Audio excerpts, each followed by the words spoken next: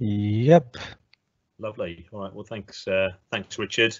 Um, Fantastic. So, uh, Uh, go, go ahead. This is this is the only problem with running a virtual event. I, can't, I can't see your face now. I can't take any visual cues. exactly. Yeah, you're never quite sure. Um, uh, I'll just I'll welcome everybody quickly. Um, uh, we've got an hour. It normally goes over because uh, our audience has got so many incredible questions. Um, just to thank you all for coming. Um, we have um, Tim Ebenezer tonight. Um, really, really interesting talk, especially given that we never have, um, or we haven't for ages, had um, a talk about web. I'll let Tim Tim give you his background and um, what he's talking about today. Just to say that um, he's currently the chief digital officer of um, Foundation SP, um, but he's had um, a very very strong Microsoft history. We've just been chatting about this for um, for the last. Uh, half an hour so i think um, i'm sure he's going to pepper stuff with lots of interesting stories but um, i'm really looking forward to to having to having a, a talk about web uh, and Azure, which we haven't had in ages. So I'll hand over to Tim now. Lovely. Thank you, Richard. Really appreciate it. And um, good to be uh, joining you all um, on this uh, Azure uh, user group. Um, thank you. Thank you, Richard, for, for sort of uh, um, yeah, hosting this. And uh, I, I think I think you said there's there's pizzas going to everybody's house, who's uh, involved in the user group as you sort, sort of normally have in a uh, in a gathering. Um, but- if I understand correctly. That, that, that really would be quite an effort, but I think that sounds amazing. I'd love it. Somebody came up with a service to do that. That would be the, the traditional pizza as a service model that people Well, came exactly, up with to describe IaaS and PaaS. that, that's it. You know, we're talking cloud. We've got to talk pizza as a service. So, um, as as as Richard said, I'm from a uh, from a company called FSP, where I'm chief digital officer. Um, we're a Microsoft partner uh, involved in the cloud space. Um, maybe a little bit more lowbrow than uh, than some of uh, some of our other Microsoft partner um, community colleagues. Uh, you know, we, we're just talking about web today rather than sort of highfalutin uh, uh, data science, etc. But uh, we we do we do have data capability that we uh, that we work into and a, and a cloud capability as well as um, Office 365 capability that we work in. But something that's been really interesting for us in the in the last um, number of months, only the last sort of uh, three to six months, has been um, been Microsoft's uh, pushing out of Blazor as part of uh, the you know the new releases of ASP.NET Core and uh, seeing how that works in in enterprise capabilities. You know, um, we we really like to push the envelope on uh, using new technology and and and pushing that new new is new is better than old um, in in many cases. I mean. Richard and I were just sort of reminiscing on um, on Azure back in 2009 when it was pretty much just a uh, just a, a blob storage service, and I think that I, I always remember the three things that they had then. But the only one that sticks in my mind is blob storage, um, and I just sort of looked at it and "No, this will never catch on.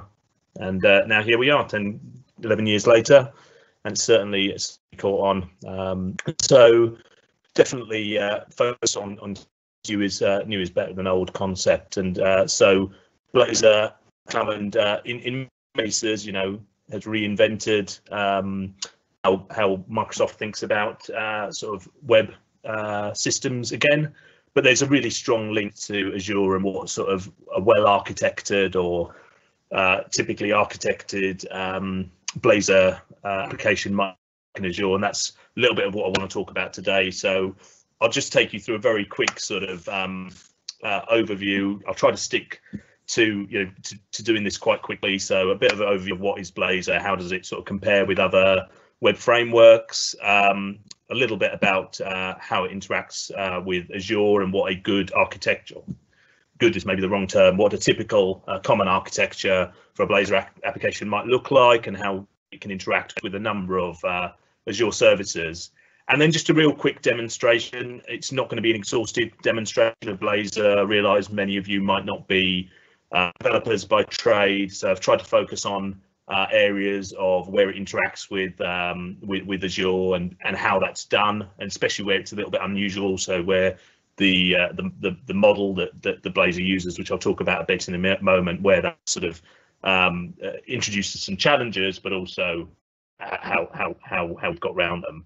And then you know probably where I think you know we we'd be you know a, a, little further forward than, than many other partners. We've we've deployed Blazor in production contexts a number of times and uh, got a little bit of sort of information on, on, what we've seen and particularly some of the um, some of the services that you use with Blazor, how you might um, see those behaving. And you know, we've all, I'm sure, run up against um, Microsoft's uh, somewhat arbitrary um, uh, uh, uh, resource units for for different uh, for different Azure services, whether that's in uh, Cosmos or DTUs in uh, Superb, trying to figure out well what does a DTU actually mean.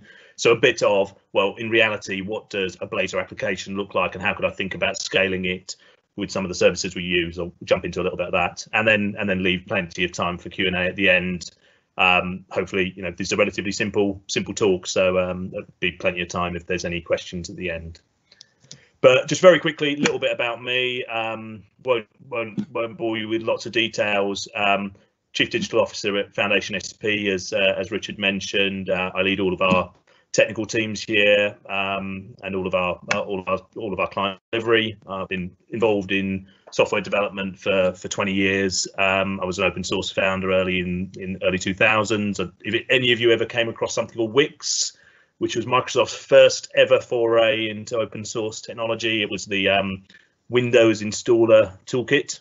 Um, I was the creator of something called Wix GUI, which was a, uh, a, a um, graphical user interface that wrapped around Wix. Was one of my far less successful open source projects, um, but been been involved with uh, with a few over the years, and then kept kept my hand in with uh, with software development and um, sort of moving through web systems, uh, worked on CAD systems and all sorts in the past. Um, but yeah, very passionate about software development. Uh, married with two kids, which is um, fun in in lockdown. Um, fortunately, they're of an age where they can play Xbox for extended periods. Um, and something interesting about me, if you go on my Twitter, which the handle is below, you'll see me uh, sort of uh, playing around with my musical instruments if you sort of scroll through for for long enough and uh, something that I'm very passionate about. I don't know if my background's blurred, but you might see a drum kit behind me if it if it's not. So very uh, very pleased to be sort of speaking about uh, about Blazor and really something I'm passionate about. So very quickly we jump into what is Blazor? What what what is it? Well, Blazor is a framework to build interactive web UIs with C Sharp. So it's got two modes of operation, if you like. Um, so what you can think of Blazor is Microsoft's response to the, the uh, growth and proliferation of frameworks like React, uh, Angular, uh, and other front end um, front end frameworks uh, in JavaScript. And I guess what they've tried to address with with Blazor is the fact that uh, front end uh, or C sharp developers are having to you know get familiar with another uh, another language, uh, in in this case JavaScript, in order to do effective client-side coding. Um, and so it's built on ASP.NET, requires no plugins on the client side, but um, can create interactive web UIs. And I'll show you a bit of what that sort of looks like. But effectively, what it gives you is, if any of you are familiar with web forms from back in the day, is actually when you know the first time um, you use Blazor, you feel like you're stepping back in time and using web forms but it's a lot cleverer in how it in, in how it works. So um, there's two modes of operation for Blazor. It can either compile down to WebAssembly, WASM, um, or it can use SignalR to run server side. And those two, the two modes of operation dictate how you then build your application. So if you compile, compile, compile down to WASM, that whole uh, binary gets loaded into the client side. Um, and effectively, though there's work that Microsoft still need to do, why it still sits in preview on the WASM version, whilst the SignalR server server side version is now production ready or or, or sorry, uh, standard release ready.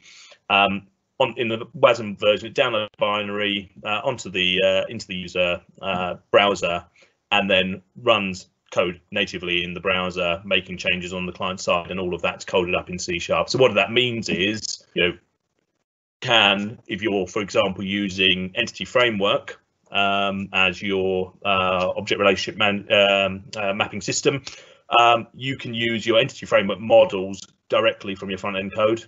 And you know you've not got the uh, if any of you have used sort of uh, JavaScript UIs, you've you know JavaScript um, frameworks, you've not got the data transfer objects that you have to have ferrying data in between and copies of your objects on you know, or representations of your objects in the JavaScript framework and on your C Sharp uh, server side. So um, the other mode of operation is where it uses SignalR to run server side. So in this mode, um, the application runs on a server, very much like a you know, normal ASP.NET MVC application or a uh, Razor Pages application, if you're familiar with either of those. Um, but then what's clever that happens is when you connect to the application, a SignalR section established between the server and the client, and then only diffs in the pages HTML is sent from uh, from server to client. So what you have then is you can you know essentially make changes and uh, modify your HTML on the fly. It totally respects any C sharp object and it just sends diffs as state changes within your application. Very rich, very quick, but also means you're just constantly interacting directly with your C sharp objects and you're never seeing any, you know, you're not messing around with any any JavaScript. It does support interop with JavaScript if you do need to do um, you know, do some uh, some things that, that are outside of its capability, which I'll talk about a little bit in a moment. But just to be clear, this session focusing on the server side piece, the client side piece is in preview. It's not recommended at the moment for enterprise use or for production use, um, but definitely one to watch for the future in terms of if we think about, you know, good good Azure architecture, serverless architectures definitely leans in that direction in the future. So now it's still a web app good for serverless in the future once we get to that WASM state, if you like. And then just a very quick comparison to JavaScript frameworks um, in terms of the pros. Know, the, the, main one, which has always been, you know, if we, if we think back to, uh, to, to, to web forms in, uh, in in the old days, you know, Microsoft did really try to do as much as possible through um, uh, through uh, through C sharp code and through uh, the awful, awful user control model that existed within web forms. And if anybody uh, thinks of update panels and what that sort of meant, um, so update panels were a way of doing early um, asynchronous JavaScript calls, um, and Microsoft sort of wrapped it all in this thing um, that, that did it all by magic, but with lots of uh, with lots of load in your um, on your front end and your back end. Um, it was it was a mess very similar concept, but executed much better uh, in, in, in, effect. Um, so no need to learn another language and paradigm for developers, and that's the big one. You know, um, in addition, direct use of ORMs such as an entity framework, as I've mentioned, and less need for DTOs. Uh, but on the con side, visual effects are much harder to achieve in Blazor. So if you want anything that looks like a, you know, something fairly simple that you could do in, in a JavaScript framework, like fade a div in and out, you know, with Blazor, you can't do that. Or if you do, to have to do something clever with CSS3 transitions. Alternatively, you can use JavaScript interop in order to um, sort of make calls off to uh, to, to, JavaScript uh, frameworks or functions to do that. And there is, you know, there, there is the option of mixing and matching some of these, you know, some of these JavaScript frameworks with with Blazor as well.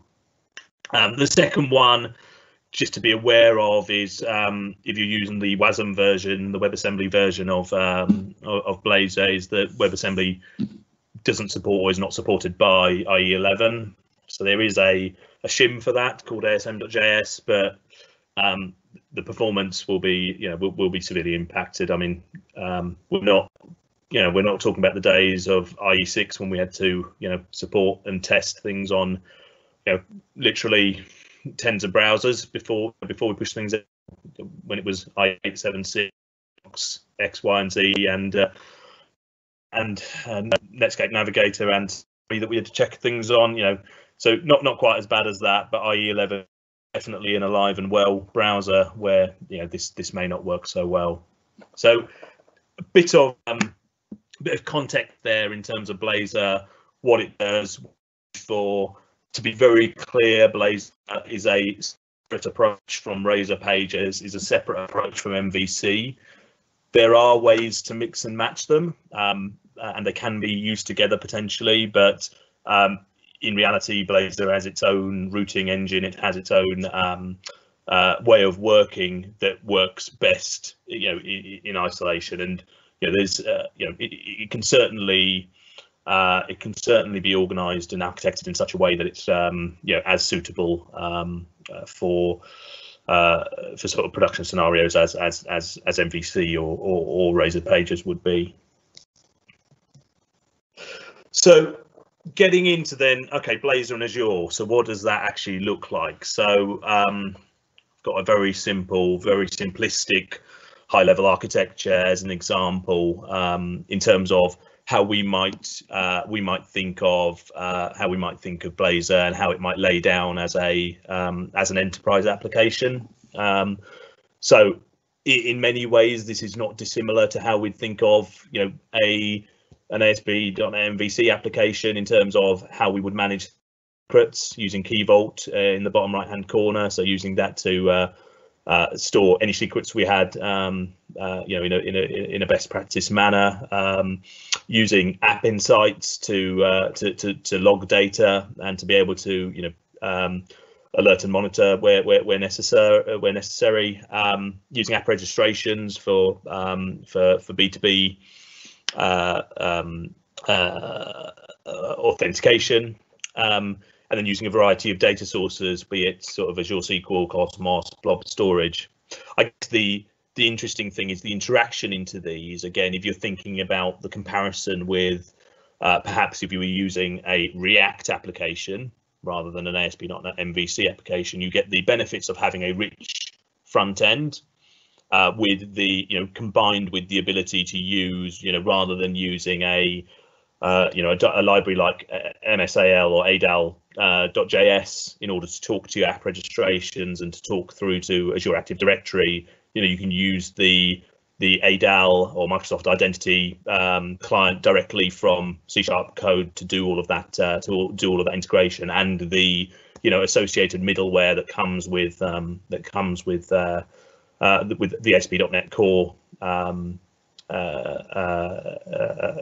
uh, dependency injection uh, functionality that you have within within within an ASP.NET core application. So a really sort of straightforward way of working from a developer perspective and from a um, from a workflow perspective, but with the same experience that you'd see for an end user in terms of you know if you were doing it with a with a flow on the uh, on the React side and having that rich um, that rich rich web interface.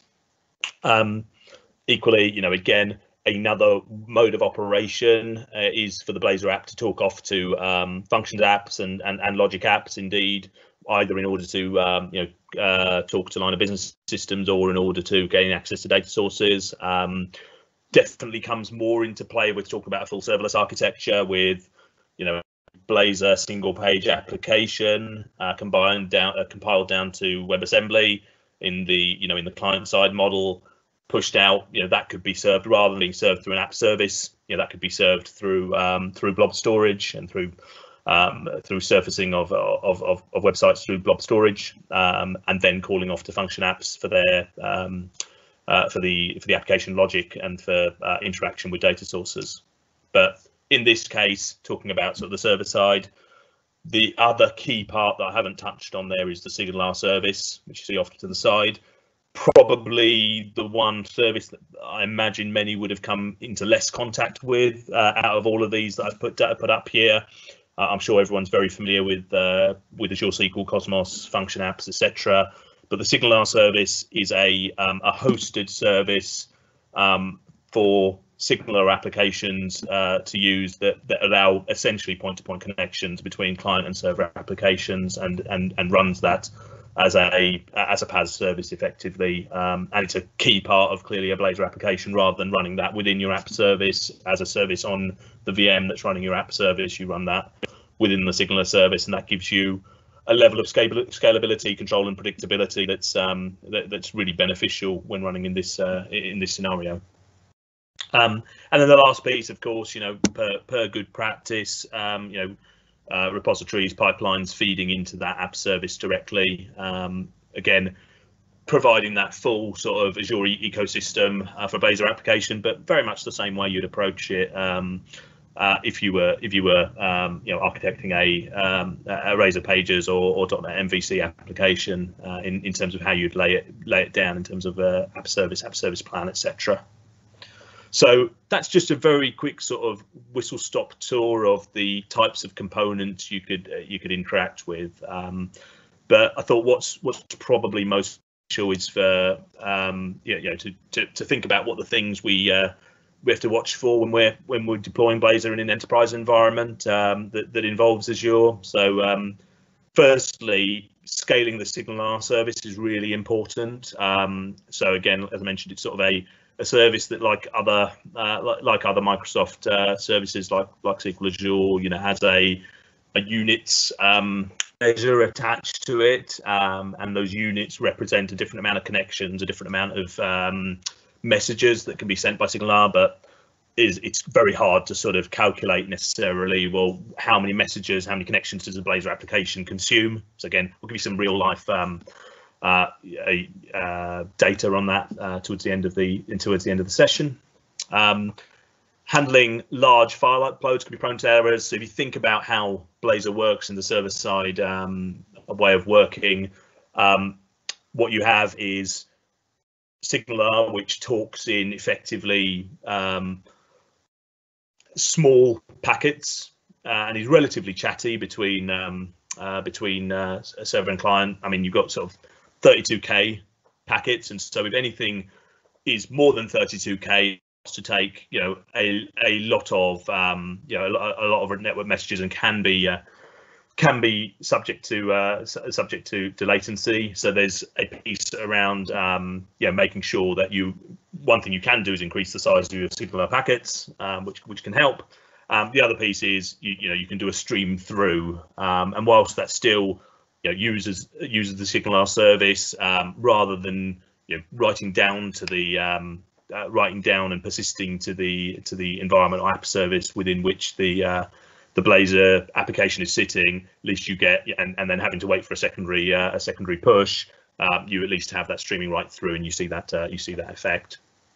Um, so yeah, something that we've sort of come across a number of times is this large large file uploads being prone to errors, and really yeah how, how to work around that and making sure that works uh, works effectively. Um, but you know we've we've we've tried this pattern now up to sort of files of of, of half a gig uh, even a gig, I think, and and, and had no no issues with, uh, with, with with uploading files in the way we'll uh, I'll sort of run through in a moment. Then uh, logging off to App Insights um, really important. So um, if you're not uh, you know, if, if, you've got thrown errors that aren't being uh, that aren't being caught and and something done with them, um, the application can go from a front end, from a user perspective, into a sort of stasis where the ground um, and nothing appears to happen until they then um, and so actually catching log in using that as part of your um, uh, application uh, cycle is, is, is really important and you know like web forms uh, again you know thinking back to uh, you know when, when we all had to know inside out the page life cycle and we all had to think about on init and if on init was called before on load and and all of those good things that uh, probably have just uh, sent a bunch of you into into into you know into into cold sweats. Um, you do need to think about the request and page lifecycle uh, in Blazor. It's not uh, it's not anywhere near as painful as um, as as web forms was. Doesn't suffer from uh, you know some of the issues we had around uh, view state and all of those all of those good things and and that big a 64 encoded string that we'd have sitting at the top of every page. None, none of that, but still very much a page life cycle that is, uh, you know, that is carried out. And, and there's this mix of um, synchronous and asynchronous events, and you do need to think about that, and you know, where you carry some, you know, where, where you carry out actions synchronously versus asynchronously. Um, but you know, again, a, a common problem in the, you know, in the in the in the new web age, uh, definitely. And uh, yeah, so it uses standard uh, .NET Core dependency injection, but something to watch out with is interactions with some of the um, some of the services can be a little bit unusual. So if we think back to how server-side Blazor works, what happens is a you know if you if you have a on-click um, uh, event within a button, for example, in HTML, that will trigger a, uh, a, an event on the on the on the client side, which then gets passed back to the server side and gets called. You know, some code gets called. on the server side, it's keeping a record of what it believes the HTML state of your end client is, and then it sends the diff back of that of, of the previous state versus the new state after you've clicked this button back to your client. Oh, and then your client, uh, the the JavaScript, uh, the Blazor uh, JavaScript runtime at the uh, at the client end then populates that into the page. And what you find with that is there are a few components um, that can behave um, in not the normal manner you would expect um, with uh, uh when when you know, when using a uh, you know a .NET MVC um, application, for example, where everything is a request and you know there's there's a proper request life cycle. So you know you're you're only actually in in Blazor making a single request um, or a, a single GET request if you start. After that, everything else is a SignalR call, so a um, yeah a, a, a, effectively a, WebSockets call at that point. Point. So actually, some of those uh, some of those um, uh, .NET Core services or components which uh, you know rely on the request lifecycle, you have to think about whether you have to you know call them directly in order to get the benefit. So just just something to something to keep aware of. So talked enough about Blazor. I think uh, probably worth just showing you what it is. Um, and and and very quickly how it interacts with some of the um, some of the Azure capabilities. So um, if I uh, if I fire up this application, so um, this is where hopefully it all still works. Um, I was tinkering a little bit before uh, before five o'clock. Um, so basic uh, basic uh, Blazor demo. So you'll recognise this as a very basic bootstrap, bootstrap page. Um, so what's happening here is the request, as I explained, has happened now. It's it's gone and got um, the the home page, and now any click I do from this point will be handled by Blazor, and Blazor will be doing this diffing behind the scenes to be um, to be um, uh, uh, presenting me with with new versions of the web page. So uh, as a as sort of a demonstration of that, if we um, if I look at this EF data piece, um, I've got a simple a simple table here with a add person button, which I can click on and I can go in and I can say, I'm going to add Richard in here and Richard, Richard looks like he's about 25 and I'll submit that and that's now saved. And just to you know check that that's actually persisted the database or refresh and as it loads up the page, it shows me that that's still pulling out the database. So now what's happening behind the scenes then, it's, it's easier to probably show it this way round is um, what I've got behind behind here is a um, is a um, a Blazor application within which sits a number of uh, a number of components, um, so a number of folders. Um, those of you familiar with ASP.NET uh, Core will see startup file, which is a normal ASP.NET uh, Core startup file, which contains all my services and all of that, uh, all of that good stuff, or .NET Core startup file, I should say, which contains all of that, uh, all of that. And we've got a pages folder, which contains a number of Razor pages, and within a Razor page definition, right at the top, there's a, or Blazor page definition, I should say, sorry, um, there's a definition for what route uh, maps to it. So the very first thing is that this this this Blazor page is at EF core. So if I look back in here, that's the EF core route that's sitting here. So that's what's rendering this page here. um, as I go back in, you'll see there's some HTML here. Now, there is a templating feature around this. I'm not going to dive too much into this, uh, but um, as you you know as you open up a Blazor application, you'll see it sort of builds on templates which drop components inside you know in, in, inside a template. So you've got the the framing component, if you like, which is showing all of the nav menus etc. on the side. But what I've got here is some basic HTML, and then I've got a simple if statement that says if my people um, uh, collection is null, show me a loading spinner, otherwise show me that table. And that's all I'm doing in there. And then what I've got is some code behind. So again, very much like um, very much like um, uh, web forms. Um, I'm inheriting up here from EF core base, which is my class I've defi defined in this code behind. And you'll see on the initialized asynchronous method, I'm going off to my data context. This is an EF core data context. I'm grabbing the people list and I'm turning that into a list asynchronously. So as soon as that happens, as soon as that that that collection turns into not null, the HTML automatically changes from a loading spinner into the data. And that's a really important concept with, with, with Blazor. So where in here, all I need to do is say, is people null or not? And at the point it's not null, I can rely that my HTML will turn into the HTML down here. And similarly, I'm then iterating over that people collection and populating the rows.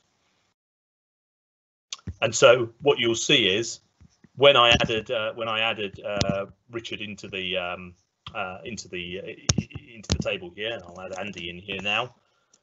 As soon as the um, as soon as I've persisted off and saved that and submitted that and it's into that collection, it's automatically adding that row in the table. And so again, really important concept of Blazor is very, very easy to interact with data, to display that, to edit it, etc. All all using very typical, um, you know, typical C sharp techniques.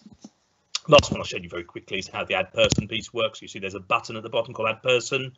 In here I've got a little um, at sign before the on click method. It says uh, on click call the add person method. So if I go into that, that's simply a uh, a C sharp um, a C sharp method, which is all it's doing is it's setting this adding flag to true rather than false. And you'll see in my EF core, uh, sorry, my EF core Blazor uh, component, when adding is true, so I'm saying if adding up here, I just add another row into the table, and that's what's making happen. As soon as I click in here, add person, it adds another row into that table. And so simply through changing that one variable, it detects what changes are needed in the HTML and it pushes that through to the client. Really, really simple, really rich. And as you can see, I'm able to use my EF core classes, etc., and, uh, and and and use that to my heart's content. So very basic uh, demonstration of, of Blazor's capability there, but hopefully something that gives you a picture of the richness uh, that you can sort of uh, experience with it and what you can what you can do on that side. Um, the, the the second thing I just wanted to walk through was um, how you might interact with a couple of Azure services. So um, the first one I'll I'll pick on is um, I'll do the dangerous thing of logging into my Azure portal live. Um, so I've got a um, I've got a demo registration here, an app registration here, and so app registrations, as mentioned before, used for um, oh, got quite a bit of credit remaining. Um, uh, app registrations are used for uh, being able to authenticate applications uh, using the directory that you have in Azure Active Directory, and that can be against either your directory or against any directory that's a uh, you know that's uh, that, that's that's known by Microsoft, and really good really good way of ensuring you know for example that only people within your organization can get access to an application. So I've set up a demo registration here, very simple. You know, it's got a simple a single callback, which as you can see is from my um, uh, from my Blazor application with sign in OIDC. Sign in OIDC is part of the um, is part of the uh, Azure AD middleware that is part of the uh, Microsoft Identity platform. So uh, just that's why that's there. Um, I've set it up with this one redirect U, URI, and then I've shared uh, the necessary secrets with the with, with the Blazor app, and just to show sort of how easy it is to set up uh, Azure um, Azure Active Directory uh, authentication with a with a Blazor application. So this de this demo registration is set up. If I go to the overview, we'll see sort of the client and tenant IDs up here. And what I've then done is come in here, stuck those in my uh, in my app settings, um, and then uh, that's respected then and then in the startup file, very simply, in a very similar manner to we would do in you know, any other uh, ASP.NET Core application. I've set up my uh, my middleware services, so adding Azure AD to the services collection, um, uh, to, to, to, which which tells my application to use uh, Azure AD as the authentication scheme. Um, I've set up you know some basic pieces around sort of what the uh, what the authentication could should could do.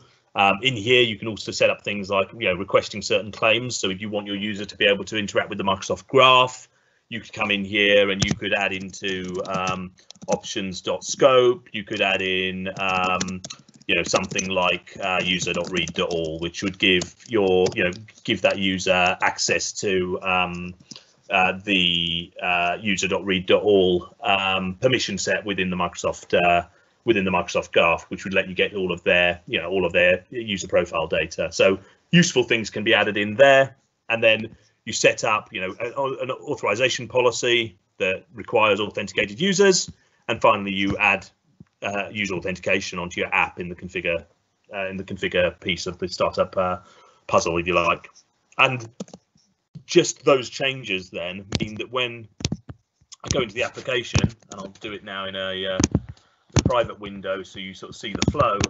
As soon as I go into the application, then it triggers straight off that I need to sign in with my uh, with my FSP account. Uh, won't won't do it live because it will ask me for MFA and all that good stuff. But um, it triggers triggers that flow and and and then pushes me into the application and then I have you know I can get access to the claims principal in in in the normal way that I would and you know whether you're using uh, you know ASP.NET Core identity or something behind that to then uh, tie to uh, tie to your user database. Um, the the options are all open there, but a very simple way again.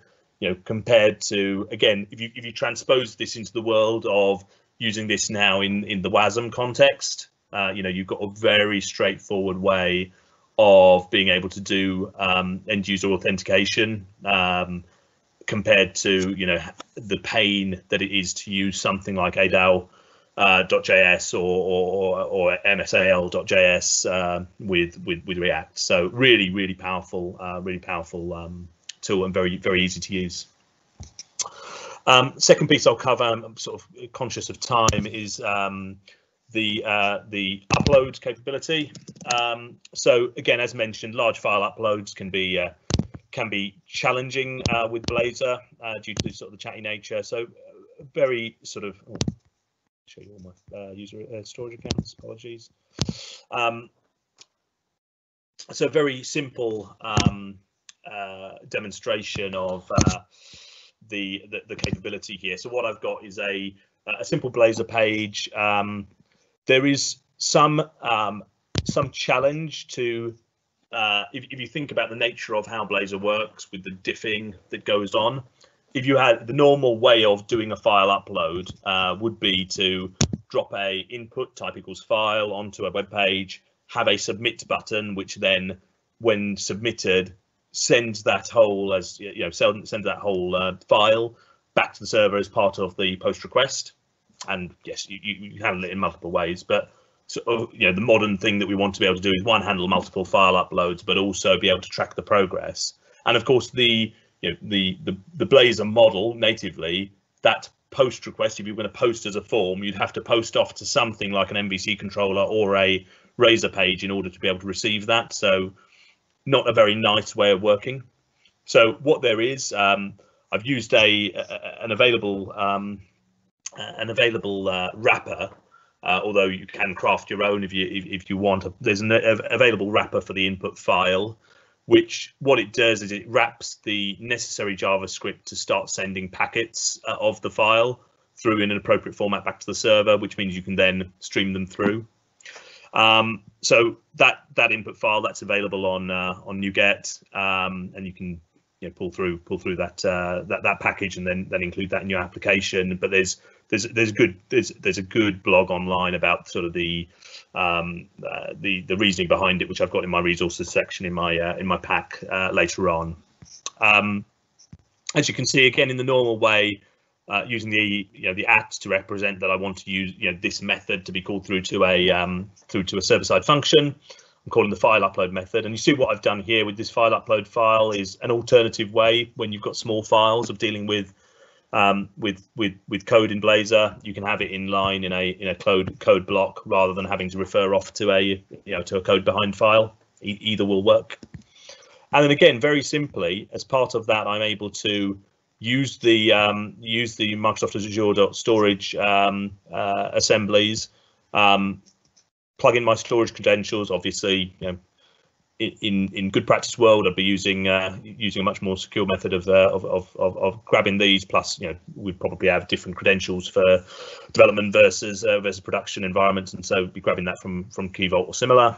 Um, and then you know using um, using uh, the storage account uh, object and passing that in and then I'm going in, grabbing my grabbing my container, and I can stream the file straight through to um, uh, straight through to the uh, to the awaiting to the awaiting blob storage uh, environment. So what that looks like in practice is um, I'm able to choose a file here. Um, I'll choose my son's 12 meg movie. Hit upload. You'll see it again this might might interfere with my uh, with my with my uh, with my broadcasting connection. Never thought of that. Um, hopefully it hasn't. Hopefully you can all still uh, hear and see me.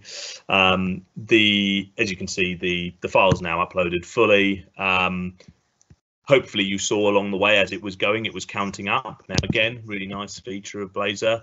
All I've got in here is a for each loop, which is going through each file and it's saying for each file, spit out the file name, the data position, and the size. As that changes, as those data points, as those uh, as those properties of those objects change, it automatically updates the web UI as you saw. Um, it's a really nice feature. And what we'll see over here on on the Azure Blob Storage side is Joshua Movie.mp4 is now dropped into this container um, which which is where I've been where I've uh, uploaded it. So um, really really straightforward, um, really straightforward to do. And again, just demonstrate some of that power of Blazor in terms of working with working with Azure services. So um, that's everything from the sort of demo side of it. Um, plenty more could go into, but didn't want to do a big deep dive into Blazor. Um, so very quickly to to wrap up then, a little bit on scaling SignalR. Um, so SignalR, the free tier, um, uh, the free tier provides you 20 connections max, whatever 20 connections max means, and 20k messages max per day. Again, similarly, um, and the standard tier goes in one to 100 units. So you can provision up to 100 units of this. A unit costs about 35 quid a month. Um, so not terribly expensive, and you get 1,000 connections per unit. Sounds pretty high, uh, and 1 million messages per day per unit. Again, sounds high. Don't know what it means. So, what does that mean in real life production use? So, I've taken these stats from um, one of our production systems that we run internally. We do run this with uh, with clients with uh, with larger use cases and has similar sort of impact. This is a daily task allocation system that we use for our company um, that runs on it. Everybody hits this pretty much every day um, go on to find out what work they're meant to be doing. Uh, we use it for uh, you know for everything for we use it for everything in terms of running our operation as a company. As you can see, each week there's sort of five spikes. Those represent sort of the five days, and clearly there's points of the day where people log on in the morning and towards the end of the day as they sort of update what work they've done and similarly. And so you, what you'll see is you know this is a highly concurrent system for 75 users. What we're seeing is you know for 75 users, we're hitting about 35 connections. So unfortunately, we've gone outside of the free tier, uh, but we've not, you know, we've not gone uh, anywhere near what the, you know, what the 35 pounds a month buys us, and uh, we could scale up to, um, you know, uh, 2,000 users in theory, um, and probably still be well within our, uh, or maybe 1,500 users and be well within our connection limit.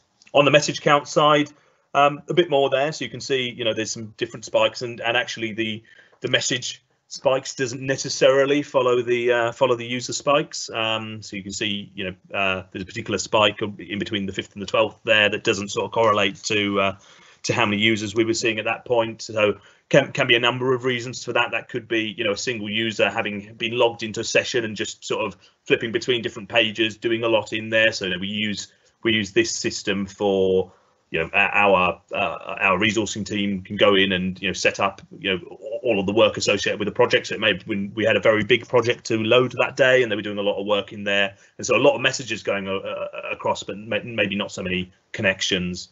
And so again, gives us a picture of okay, well, you know, on a on a peak day, we're hitting 160,000. That looks like a pretty unusual day, uh, and we're not getting near our, our million messages that we're allowed per day. So we've probably got about you know about five times the number of users we can scale on that front. So again, two different metrics. This is what it like looks like in in in production for us for a fairly heavily transacted system.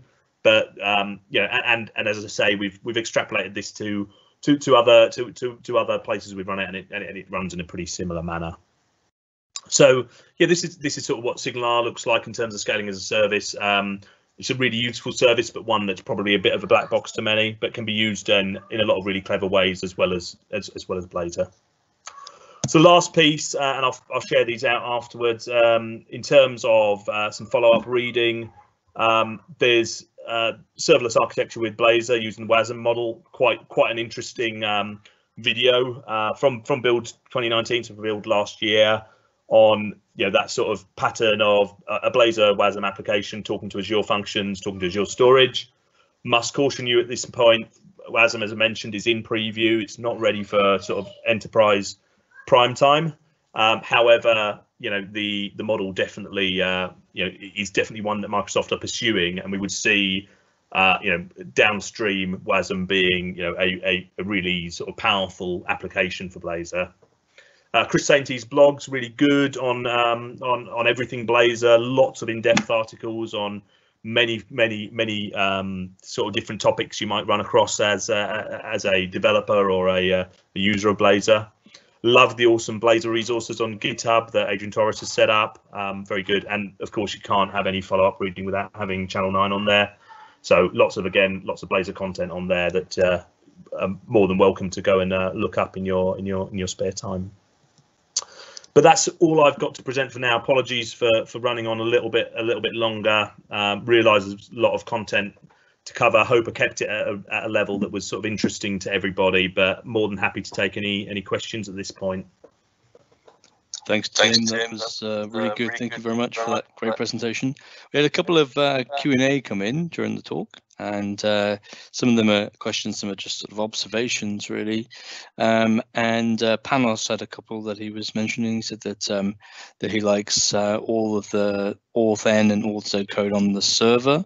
Um, as well, along with the secrets to keep it out of the hands of mischievous uh, view source control or uh, Chrome dev tools kind of uh, mm-hmm. hackers. Um, so, you got any observations around uh, how it affects the sort of security prospects of the developed code? Oh, absolutely. So clearly, in the WASM model, we've got to be much more careful in terms of what goes into the code and how we are interacting with um, with different resources. So there's very specific ways of doing, for example, um, Azure AD authentication if you're doing it on the on the client side, as you you know if you've done anything with, uh, for example, a, um, a JavaScript framework application, uh, an SPA, interacting with uh, Azure AD, you'll be familiar with.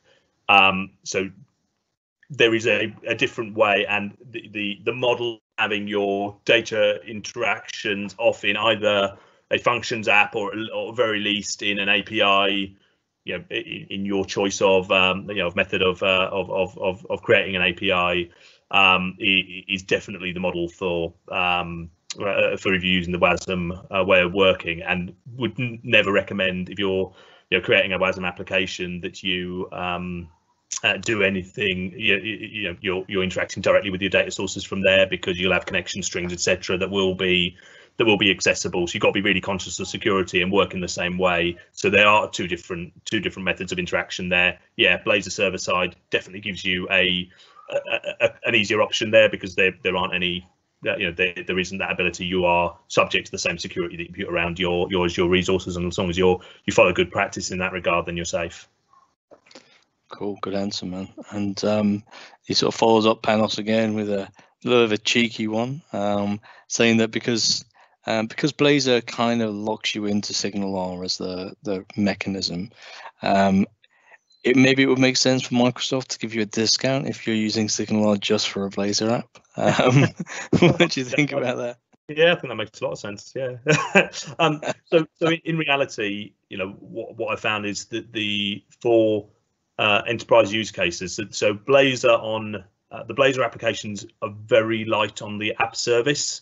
So you can generally run, you know, um, the load testing that we've done shows sort of on a on a basic, I can't remember exactly which SKU it is now, uh, but a pretty basic VM that was, you know, that is that is in the tens of pounds per month. Uh, you're talking about tens of thousands of users, that, or sorry, 10,000 users that can connect uh, and, and, and use Blazor applications. So what you're probably reducing is you're reducing your app service footprint, but you're you're taking the cost on the SignalR service. Signal service is not particularly expensive expensive as you've seen. Clearly, if you get to running 100 of those units, you'd be spending three and a half grand a month, which yeah, it's definitely getting more you know getting more pricey. But you'd be running a pretty big application with a lot of concurrency to be seeing that level of usage. Yeah, absolutely. Um, so anonymous hacker has asked, uh, is it possible to interact with uh, a graphical library such as WebGL? Yeah, hundred percent. So you can use, uh, so you can interact with any JavaScript library. Didn't go go into it today again, just sort of figuring out what the audience is.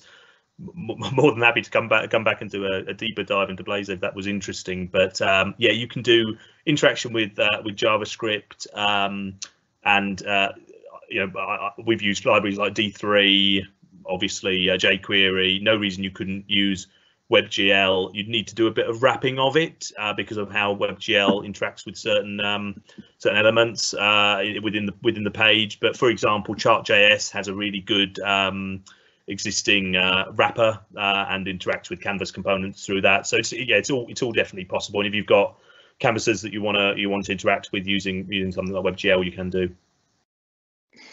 Okay, uh, Nick Bogier asked. Um, well, basically pointed out that you look nice, and uh, it's nice when your face appears alongside your presentation. Which more of a more of a compliment to me, but I thought I'd say it because you know it makes me feel good.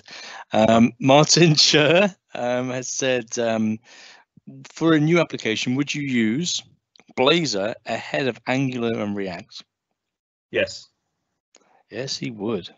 I, I, I, would, and I uh, yeah, I mean, so so there's definitely a piece of you know you've got to use the right tools for the job, and there's of course you know concerns like who's going to support it and is it you know if you're developing it for a client is the client you know is it the right choice for a client? Is it in their strategic roadmap? But as a rule you know we, we are definitely leaning towards blazor now as our primary uh, web development uh, web development tool. And uh, for me it's uh, there's definitely a workflow advantage and a an advantage to onboarding certain types of developer that really helps.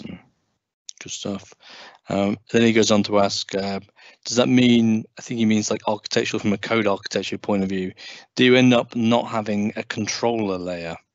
More like maybe an MVC kind of approach? Um, yes, good question actually. So you, you can, so you, you can build it, you can, you can architect your application in whatever way you want to, right? So you could architect your application in such a way that uh, you abstract all of your um, all of your business logic off you would still end up calling off to a controller then to build out, you know, the um, the the structures that you had within your within your page to get maximum value out. Because if you if you moved all of your business logic out into controllers, what you'd end up is just having lots of static lots of static Blazor pages because you'd be pushing all of that off. So um, I mean, you, you can do it. You you know, I think it, it leads to a slightly different paradigm. Um, but yeah, uh, uh, it's it's one of those where you um, yeah, I wouldn't necessarily recommend it. I think there's there's cases where you encapsulate your business your business logic separately, and you could push that off to controller where it makes sense. Um, but uh, you know, in the main, you don't have as much need um, to to do that as you as you not as much need. Yeah, the the paradigm doesn't lend itself to be used in that way so well. Okay, great stuff. Um, Mike says uh, it was a great presentation, and uh, if he was using React today with ASP.NET Core APIs, more microservices, what's the unique selling point to move to Blazor? It's a great question, Mike. Yeah, it's a really good question. I mean, I mean, you know, honestly, if you've got a team that really understands your application, there is no case to move to Blazor. That would be my, you know, my, my, starting point. If it's well architected, it's working well for you. Why would you move? Um, however, um, I think th- there is definitely a thing of, you know, not everyone is completely comfortable with um, with with, uh, with with JavaScript frameworks. Um, so some people are. Um, there's clearly, you know, there's a lot of moving parts with uh, with JavaScript frameworks. So we think about um, something like the jump between. Uh, I can't even remember the versions, but React pre React hooks and React post React hooks actually, you know, the big jump and a lot of rework that was needed, and probably a lot of input that was needed from very senior devs within your team. Um, not saying Blazor would not come out with the same paradigm shifting um, ideas, but certainly Microsoft's been pretty good in the past. You know, we look at how sort of the C sharp language has developed over a number of years and how, you know, uh, ASP.NET developed, uh, MVC has developed. They're pretty good at incremental changes and keeping good levels of backward compatibility. So in terms of keeping pace, yeah, there's a there's a decent case there. I think having all of your uh, having all of your business logic code and front end code using same or similar objects, etc. There is a benefit there. Um, but yeah, once you're well established into using an application, you know, there's there's got to be a really good reason to change it. Yeah, I agree completely. Um, Martin Scher asks, um, do you still have an Azure web app in addition to the SignalR application? So you've got a app service. Um, so yes, yes, an app service sitting as part of an app service plan. So that's it. Yeah, it's a web app in effect. Okay, and then um, the last question so far um, is uh, someone would like to know more about SignalR. Said it's a good introduction, um, okay. and either states or asks is running on or running on Linux is cheaper. So, uh, as an observation, what can you say about the cross-platform nature of ASP.NET Core, Blazor, and cost particularly? Uh, yeah, that's a good question. So SignalR service, I don't think, uh, well, no, SignalR service I know doesn't have any option of changing what underlying VM, you know, ultimately all of these PaaS services have underlying VMs, doesn't have any option of changing the underlying service uh, VM. As we know, um, app services, you can choose whether you're running those on Linux and or or or, or Windows. Um, there would be no, you know, there'd be a cost differential in that, uh, which is you know built into the SKU pricing not not massive. Uh, can't, can't always recall all of those from from memory, um, but uh, yeah, there'd be there'd be a bit of a, a bit of a um, uh, a price differential. Um, we've not done any massive tests on whether the performance is any greater because I guess the, there's two sort of uh, metrics by which you'd save money. One is the ongoing cost of the VM, but then the second is if a Linux VM, for whatever reason, running ASP.NET Core, um, could scale further than a Windows VM because potentially it's more lightweight or something. You know, there's there's there's potential arguments in there. What I would say is, given ASP.NET Core on um, on uh, Linux runs on top of Mono, Mono is is a, is a very um, uh, is a very um, mature product, um, and you know has been it's been around for many years. But there is still, you know, there's still a a performance. Well, I'll qualify what I say heavily. Last time I used it, there was a pretty, you know, there was, there was a performance penalty around uh, around mono, and so it's something to investigate. I'd suggest, but I don't know if you'd get a implicit improvement from just using um, from just using uh, uh, um, uh, a Linux Linux VM underpinning your app service versus Windows. Okay, and uh, last question thus far is um, from Panos again. He asks you how has, has the maintenance been for your guys for your production estate um, and the deployed Blazor app. Do you feel maintaining it is quicker and easier than an Angular or React app? Because in the end, all that matters from a business perspective is cost, cost, cost. uh, yeah, I guess to some extent that that is what matters. Um, yeah, so the maintenance cycle has been really easy. So um, what one thing we didn't touch on, you know, again from a from an apps dev perspective, another great feature. Not you know not to say that um, you know there aren't good JavaScript testing frameworks because there are, but again your your tests. Um, you know, it, when you're when you're running, you know, when you're running a, a project, your unit tests can all be uh, written in you know, written in C sharp using you know, whatever your uh, your test framework of choice is, MS Test or whatever else. Um, and as such can be you know integrated into your CI chain. In the production environments that we're running, we have automated um, pipelines, um, both for uh, for for CI/CD to um, to to test environments, but also for continuous deploy to production with an approval loop, which is a pretty nice feature. So um, uh, it can either be manually triggered or triggered off a off a particular chain. So if you have a if you're running a, a feature branching pattern that has your production running on master, then you can trigger off changes on master. If you're running that off tags, you can you, know, you man manually trigger against a tag, and then and then push that up. But what that will do is let a dev or a um, or, or a, another person in your organization or, or, or a maintainer of code trigger a production release but it go through an approval a number of approval steps before that so a you know a test lead for example could approve it that they've you know tested it in the test environment first and then a service operations manager could approve it into you know to say that they're happy that it goes in you know as part of a change request. So um, the maintenance has been pretty simple and thinking about yeah you could do all of those things with a with a with a react application but the tool chain that you're doing with is a consolidated tool chain. And you know one of the things richard and i were talking about just before just before this session was you know when it comes to integration of a product set and integration of a way of working microsoft does really well there and the development toolchain integration is brilliant when it comes to this Okay, well, that's it for the questions at the moment. Thank you all very much for that. Um, I just wanted to wonder whether you had any uh, final comments to wrap up with there, Tim. um, I, I think I think the best question was, would you always use Blazor? You know, I think I think the answer's clear. um, but no, uh, I think it's you know it's an awesome new technology. I think that it you know, opens up the door to you know doing more with Azure. Uh, uh, particularly, and and and you know, being being creative about how we use Azure services. And I think it's actually a really good point on the SignalR service. It's probably worth uh, you know worth having a session on on on on that at some point by by someone because the SignalR mm. in terms of being able to do those WebSocket connections and do rich interactions is, is really powerful. So um, more than happy for anybody to reach out. Um, contact details um, are on the slides, and uh, more than happy to connect, answer questions over email, LinkedIn, Twitter, whatever you like. So yeah, uh, thank thanks for hosting, Richard, and uh, hope hope it was valuable to people. Pleasure, pleasure. Really good talk.